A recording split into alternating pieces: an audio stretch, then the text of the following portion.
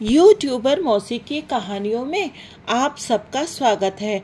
हम सुन रहे हैं हैरी पॉटर की कहानी, Harry Potter and chamber of secrets, जिसका कि मैं हिंदी ऑडियो आपको सुना रही हूँ।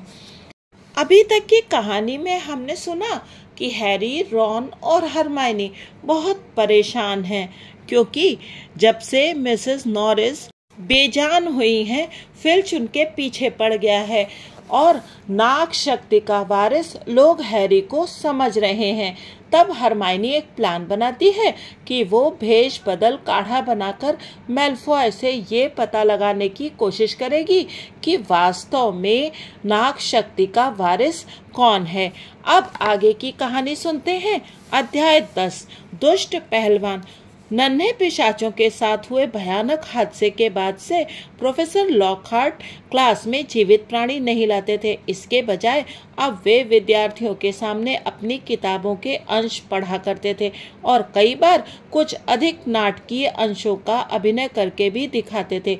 घटना की नाटकीय प्रस्तुत में मदद करने के लिए वे आमतौर पर हैरी को चुनते थे। उसे अब तक कई भूमिकाएँ निभाने के लिए विवश किया गया था। हैरी ट्रांसल्वेनिया का वो देहाती बना था जिसे लॉकहार्ट ने बकबकाने के शाप से मुक्ति दिलाई थी।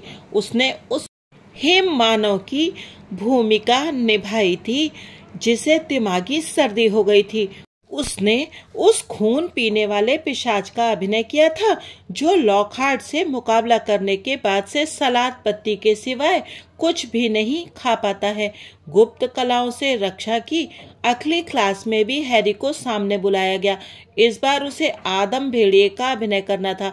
अगर उसके पास लॉकहार्ट को खुश रखने का बहुत अच्छा कारण नहीं होता तो उसने ये भूमिका निभाने से इनकार कर दिया होता थोड़ा ज़ोर से अच्छी तरह चिल्लाओ, हैरी। हाँ ऐसे। और फिर विश्वास करें, मैं यूँ झपटा, इस तरह उसे फर्श पर पटक दिया। ऐसे एक हाथ से मैंने उसे नीचे दबा रखा था, दूसरे हाथ से मैंने उसके गले पर अपनी छड़ी रखी। फिर मैंने अपनी बची हुई ताकत बटोरी और बहुत ही जटिल वशीकरण मंत्र का प्रयोग किया। वो दर से करहाने लगा। करते रहो, हैरी। इससे भी तेज आवाज़ में अच्छा उसके बाल गायब हो गए, दांत छोटे हो गए।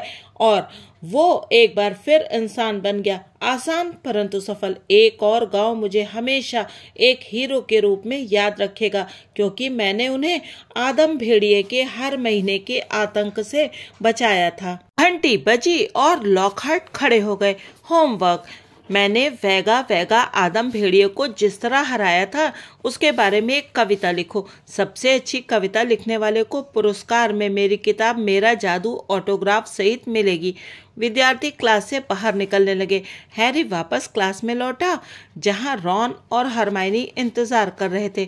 तैयार हो, हैरी बुदबुदाया। जब तक सब लोग चले नहीं जाते, तब तक रुको। हरमाइनी ने घबराते हुए कहा, ठीक है। वो लॉकहार्ट की टेबल के पास पहुँची। उसने अपने हाथ में एक कागज़ का टुकड़ा कसकर पकड़ रखा था, हैरी और रॉन उसके ठीक पीछे थे। अब प्रोफेसर लॉकहार्ट हरमाइनी ने अटकते हुए कहा, मैं चाहती थी कि मैं लाइब्रेरी से ये किताब निकलवा कर पढ़ लूँ, सिर्फ़ ज्ञान बढ़ाने के लिए। कागज़ का टुकड़ा बढ़ाते समय उसका हाथ हल्का सा काँप रहा था। दिक्कत ये है कि ये किताब लाइब्रेरी के प्रतिबंधित खंड में है, इसलिए मुझे किसी टीचर के दस्तखत चाहिए। मुझे विश्वास है कि इससे मैं उस बात को ज़्यादा अच्छी तरह समझ जाऊँगी, जो आपने पिशाचों के साथ भटकना में धीमी गति के चेहरों के बारे में कही है। अच्छा पिशाचों के साथ भटकना। लॉकहार्ट ने हरमाइनी के हाथ से कागज़ लिया और उसकी तरफ़ देखकर खुलकर मुस्कुराया। शायद मेरी सबसे प्रिय किताब तुम्हें वो अच्छी लगी? जी हाँ हरमाइनी ने उत्सुकता से कहा। आपने कितनी चतुराई से आखिरी वाले पिशाच को चाय की छलनी से फंसाया था।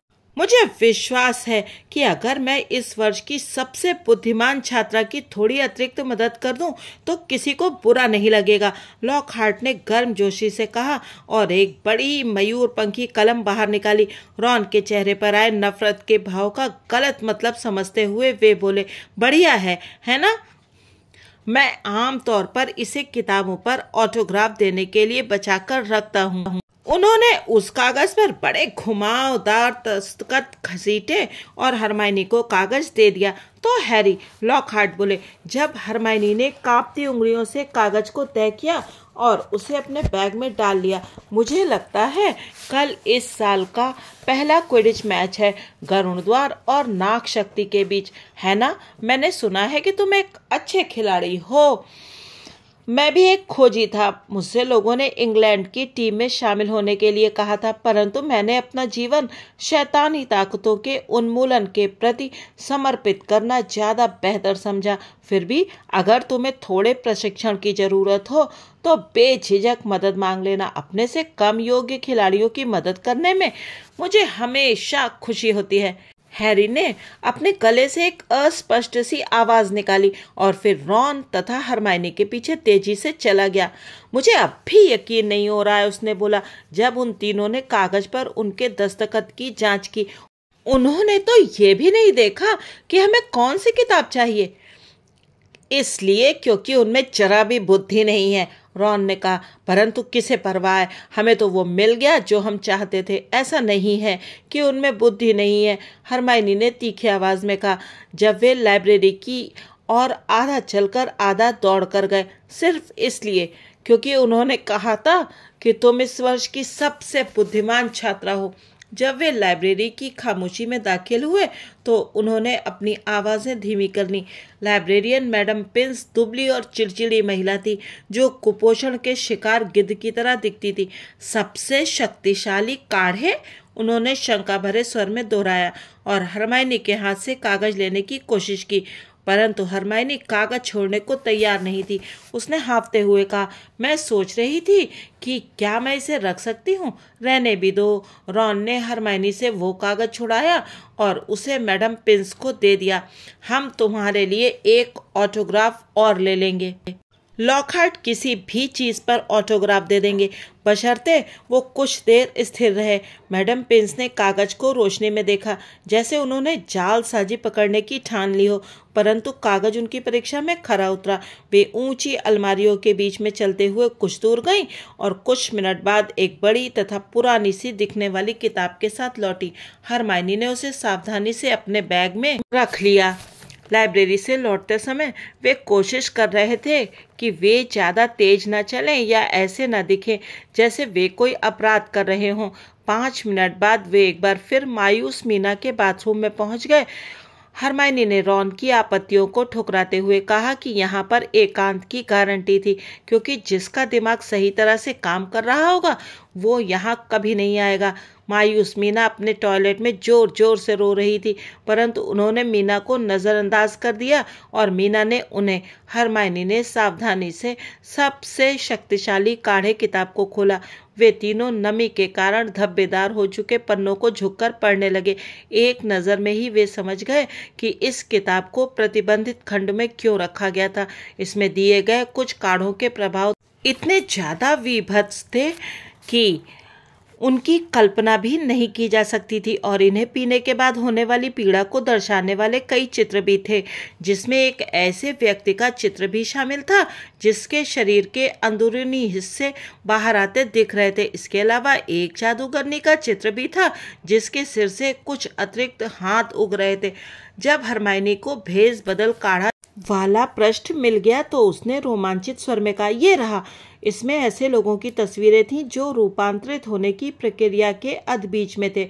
हैरी को सचमुच आशा थी कि कलाकार ने उनके चेहरे पर गहन पीड़ा के भावों की कुछ ज़्यादा ही कल्पना कर ली होगी। ये मेरे द्वारा देखा गया सबसे जटिल काढ़ा है हरमाइनी ने कहा। जब उन्होंने इसे बनाने की विधि पर एक नज़र डाली पतंगे, झोंके, गलाने वाला पौधा और गांठदार घास, वो अपनी उंगली तत्वों की सूची पर नीचे लाते हुए बुदबुदाई। ये तो आसानी से मिल जाएँगे। ये विद्यार्थियों के सामान वाली अलमारी में रखे हैं। हम वहाँ से निकाल सकते हैं। परंतु इधर देखो बाई कॉर्न के सींग का चूर्ण। क्या? पता? ये हमें कैसे मिलेगा? बूम स्लैंग सांप की केचली। ये मिलना भी मुश्किल है और ज़ाहिर है, उस व्यक्ति की कोई चीज़ जिसका रूप हम धारण करना चाहते हैं। क्या कहा? रॉन ने तीखे स्वर में कहा, जिसका रूप हम धारण करना चाहते हैं, उस व्यक्ति की किसी चीज़ से तुम्हारा क्या मतलब है? मैं क्रैप के पैर के नाखून डली, कोई चीज़ नहीं पीऊँगा। हरमाइनी आगे बोलती रही, जैसे उसने रॉन की बात नहीं सुनी हो।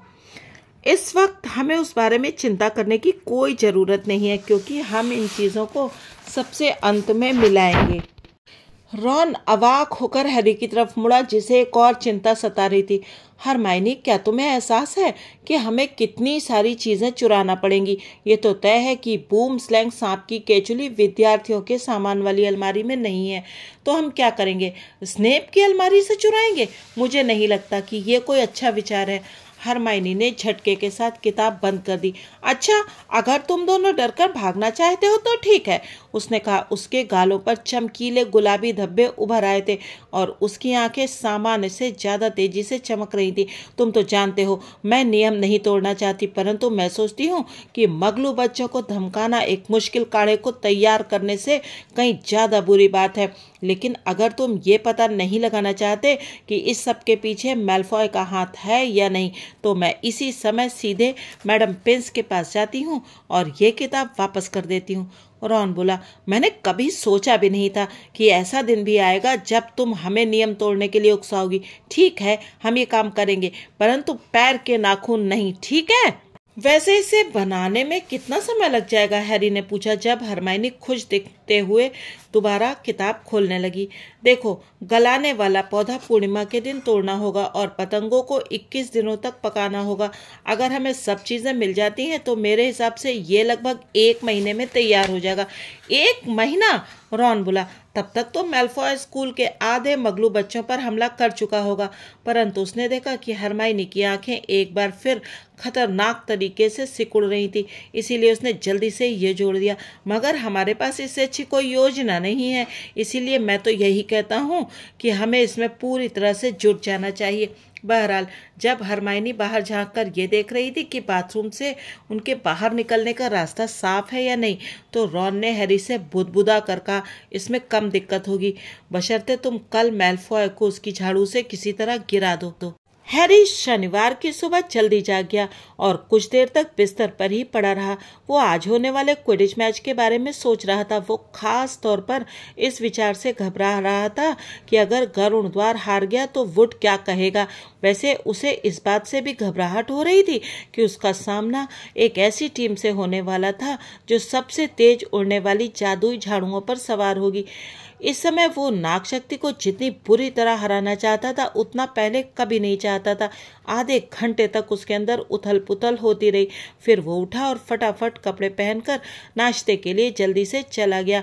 वहाँ उसे गरुण द्वार की टीम के बाकी खिलाड़ी लंबी खाली टेबल पर पास पास बैठे दिखे। सब के सब तनाव में दिख रहे थे और ज़्यादा बातें नहीं कर रहे थे। जब 11 बजे का समय करीब आया तो पूरा स्कूल क्विडिच स्टेडियम की तरफ़ जाने लगा। आज काफ़ी उमस थी और ऐसा लग रहा था जैसे बारिश होने वाली हो। जब हैरी चेंजिंग रूम में जाने लगा तो रॉन और हरमाइनी जल्दी से उसे गुड लक कहने के लिए आए। टीम के सभी सदस्यों ने गरुण द्वार के लाल रंग के दुशाले वाली ड्रेस पहनी और फिर हर बार की तरह इस बार भी वे सब मैच से पहले दिए जाने वाले वुड के उत्साहवर्धक भाषण को सुनने के लिए बैठ गए। वुड ने कहना शुरू किया इस बात से इनकार नहीं किया जा सकता कि नाग शक्ति के पास हमसे बेहतर झाड़ुएँ हैं। बहरहाल, हमारे पास झाड़ुओं पर बेहतर खिलाड़ी हैं। हमारी टीम ने प्रशिक्षण में उनसे कहीं ज़्यादा कड़ी मेहनत की है। हम हर तरह के मौसम में खेले हैं। बिल्कुल सच कहा, अगस्त के बाद से आज तक मेरा शरीर कभी पूरी तरह सूखा नहीं रहा। जॉर्ज विजली बुदबुदा हम उन्हें मज़ा चखा देंगे और वे उस दिन पर पछताएँगे जब उन्होंने उस गंदे मेलफॉय को रिश्वत लेकर अपनी टीम में शामिल किया। भावावेग की वजह से हिल रहे सीने के साथ वुड हैरी की ओर मुड़ा। सारा दारो मदार तुम पर है, हैरी। उन्हें दिखा दो कि खोजी के पास अमीर पिता का होना काफ़ी नहीं है। मेलफॉय से पहले सुनहरी गेंद पकड़ लो, वरना इस कोशिश में अपनी जान दे दो, हैरी, क्योंकि आज हमें जीतना ही है, हमें जीतना ही है। इसीलिए बिना दबाव के खेलो, हैरी। फ्रेड ने उसे आँख मारते हुए कहा। जब वे पिच की तरफ़ बढ़े तो भीड़ ने जोरदार शोर से उनका स्वागत किया। खास तौर पर हर्ष ध्वनि सुनाई दे रही थी, क्योंकि चीलघात और मेहनत कश भी नाग शक्ति को हारते हुए देखना चाहते थे। परंतु भीड़ में नाग शक्ति के विद्यार्थियों की हाय हाय की आवाज़ें और फुफकारें भी सुनाई दे रही थी। क्विडिच की टीचर मैडम हुज ने फ्लिंट और वुड को हाथ मिलाने के लिए कहा। दोनों ने एक दूसरे को खतरनाक अंदाज से देखते हुए हाथ मिलाया और इस दौरान ज़रूरत से ज़्यादा दबाव डाला। मेरी सीटी बजते ही मैडम हूच बोली तीन, दो, एक, भीड़ के शोर से ऊपर उठने की प्रेरणा पाते हुए चौदह खिलाड़ी काले बादलों से भरे आसमान की तरफ़ उड़ चले। हैरी उन सबसे ऊपर की ओर उड़ा। वो चारों तरफ़ सुनहरी गेंद को ढूंढ रहा था। सब ठीक तो है? माथे पर निशान वाले मेलफॉय चीखा। जो उसके नीचे आ रहा था। ऐसा लग रहा था जैसे वो अपनी झाड़ू की रफ्तार दिखाना चाहता हो। हैरी को जवाब देने का समय नहीं मिला। उसी पल एक भारी भरकम काला पहलवान उसकी तरफ़ झपटता हुआ आया। हैरी उससे बिल्कुल बाल बाल बचा उसे लगा जैसे पहलवान उसके बालों को छूता हुआ चला गया था।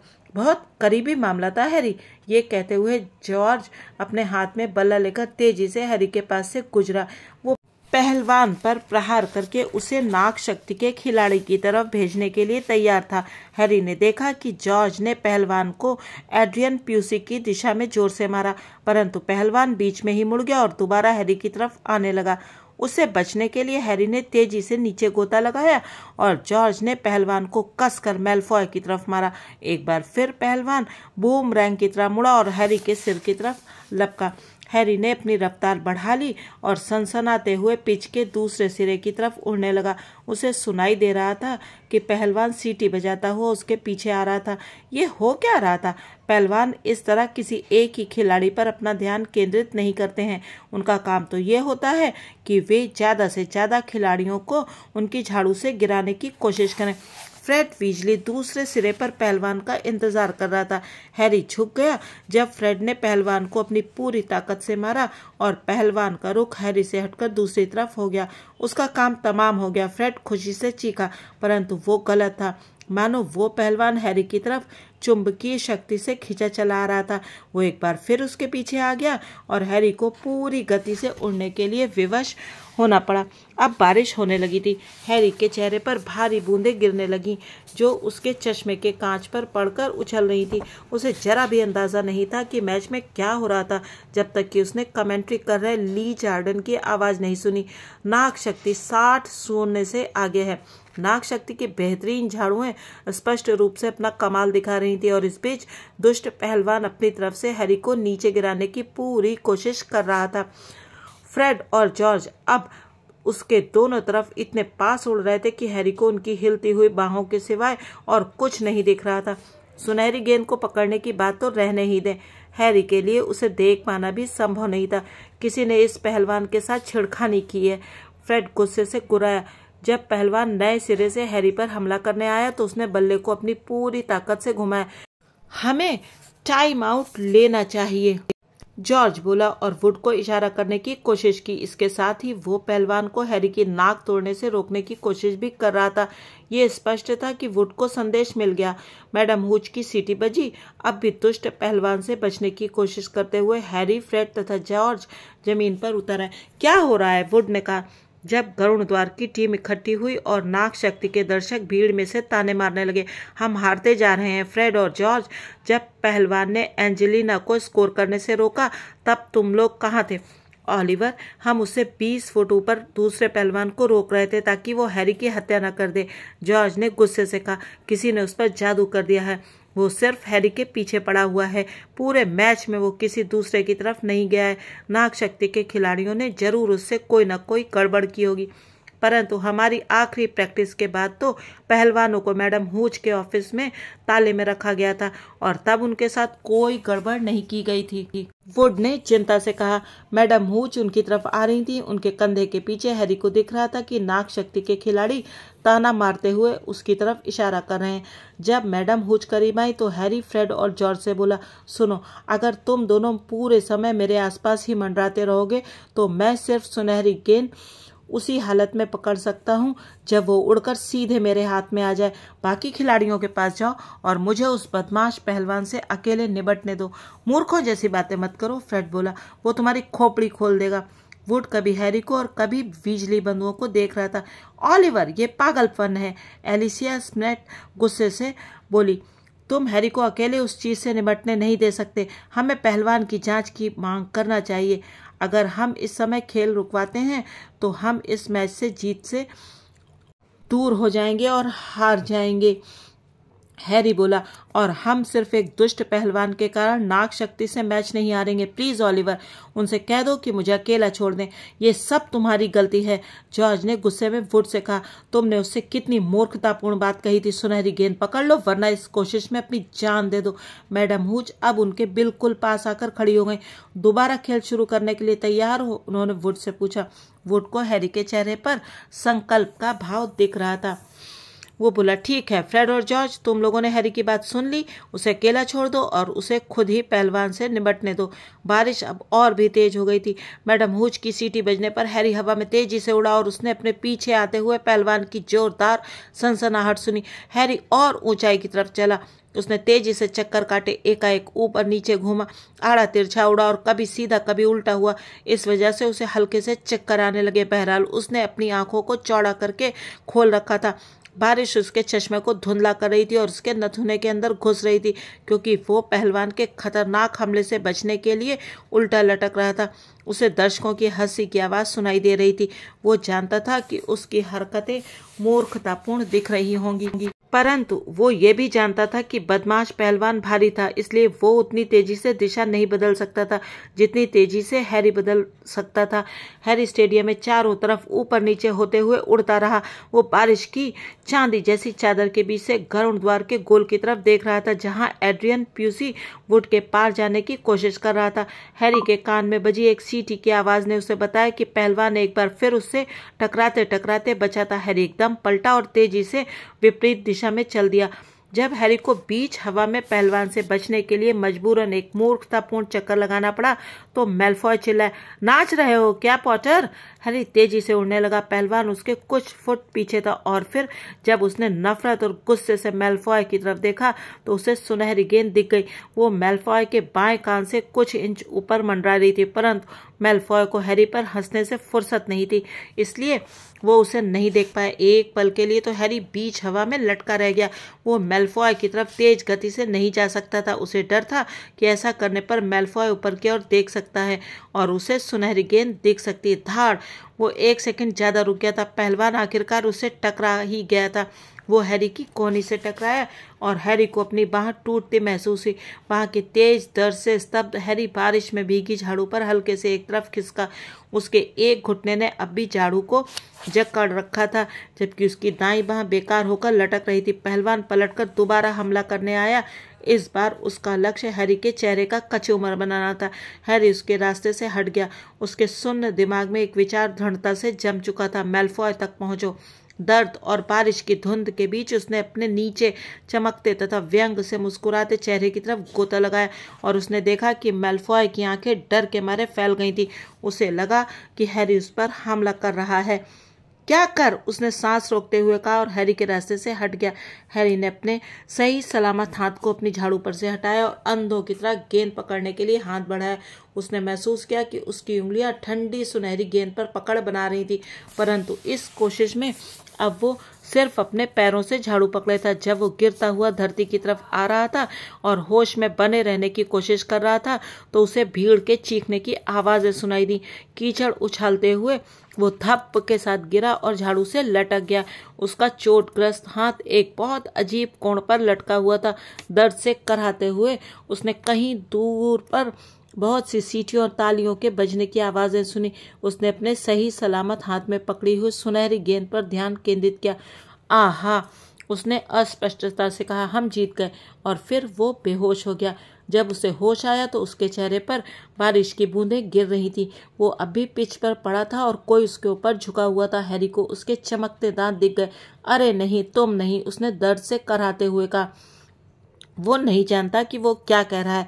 लॉक हार्ट ने अपने और हैरी के चारों तरफ़ जमा धक्का मारती गरुण द्वार के विद्यार्थियों की चिंतित भीड़ को संबोधित करते हुए ज़ोर से कहा, चिंता मत करो हैरी, मैं तुम्हारा हाथ ठीक कर दूँगा। नहीं, हैरी बोला, इसे ऐसा ही रहने दें, धन्यवाद। उसने उठकर बैठने की कोशिश की, परंतु दर्द भयानक था। उसने पास से आ रही क्लिक की चिर परिचित आवाज़ सुनी। उसने ज़ोर से कहा, कॉलिन, मैं इस हाल में फ़ोटो नहीं खिंचवाना चाहता। लेटे रहो, हैरी लॉकहार्ट ने पुचकारते हुए कहा यह बहुत आसान मंत्र है, मैं अनगिनत बार इसका प्रयोग कर चुका हूँ। हैरी ने दांत भीजते हुए कहा, आप मुझे सीधे अस्पताल क्यों नहीं ले चलते? उसे सचमुच अस्पताल जाना चाहिए। प्रोफेसर कीचड़ में लतपत वुड ने कहा जो मुस्कुराने से खुद को रोक नहीं पा रहा था, हालाँकि उसका खोजी ज़मीन पर घायल पड़ा था। बहुत ही बढ़िया पकड़ा है हैरी सचमुच शानदार। मैं तो कहूँगा कि ये तुम्हारा अब तक का सर्वश्रेष्ठ प्रदर्शन था। अपने चारों तरफ़ खड़े लोगों के पैरों के बीच से हैरी ने फ्रेड और जॉर्ज को देखा जो दुष्ट पहलवान को बक्से में बंद करने के लिए उससे जूझ रहे थे। पहलवान अब भी जोरदार संघर्ष कर रहा था। पीछे हट जाओ लॉकहार्ट ने अपनी गहरी, हरी आस्तीने चढ़ाते हुए कहा, नहीं मत करिए, हैरी ने कमज़ोरी से कहा, परंतु लॉकहार्ट अपनी छड़ी हिलाने लगे थे और पल भर बाद उन्होंने अपनी छड़ी हैरी के हाथ की तरफ़ मोड़ दी। हैरी को कंधे में एक अटपटा और अप्रिय एहसास होना शुरू हुआ जो फैलकर उसकी उंगलियों तक पहुँचा। उसे ऐसा महसूस हो रहा था जैसे उसके हाथ की हवा निकल गई हो। क्या हुआ था? ये देखने की उसकी हिम्मत नहीं हो रही थी। उसने अपनी आँखें बंद कर ली और अपना चेहरा दूसरी तरफ़ कर लिया परंतु उसके सबसे बुरे डर तब से ही साबित हुए जब उसके ऊपर झुके विद्यार्थियों ने ज़ोर से सिस्कारी मारी और, और कॉलिन क्रीवी पागलों की तरह फ़ोटो खींचने लगा। हैरी के हाथ में जरा भी दर्द नहीं हो रहा था, परंतु अब उसे अपना बाया हाथ हाथ की तरह महसूस भी नहीं हो रहा था। लॉक हार्ट बोला, देखो। ऐसा भी कई बार होता है, परंतु मुद्दे की बात यह है कि अब हड्डियाँ टूटी हुई नहीं हैं।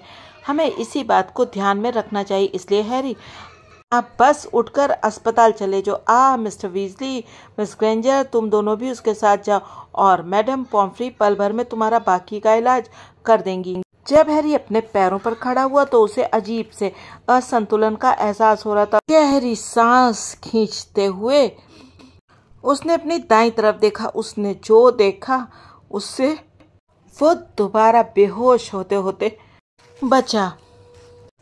उसके दुशाले के बाहर जो हाथ लटक रहा था, वो मांस के रंग के एक मोटे रबर ग्लब की तरफ़ दिख रहा था। उसने अपनी उंगलियाँ हिलाने की कोशिश की, परंतु हाथ में जरा भी हलचल नहीं हुई। लॉक हार्ट ने हैरी की हड्डियाँ ठीक नहीं की थी। उसने उन्हें हटा दिया था। तो आज हैरी को हॉस्पिटल में छोड़ देते हैं और अगले भाग में जानेंगे कि आगे हैरी का क्या हुआ उसका हाथ फिर से पहले जैसा हुआ या नहीं? और हर मायने का भेज बदल काढ़ा बन पाया अथवा नहीं?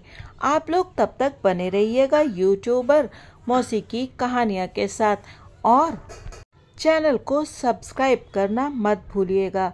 वीडियो को लाइक भी कीजिएगा। Thank you.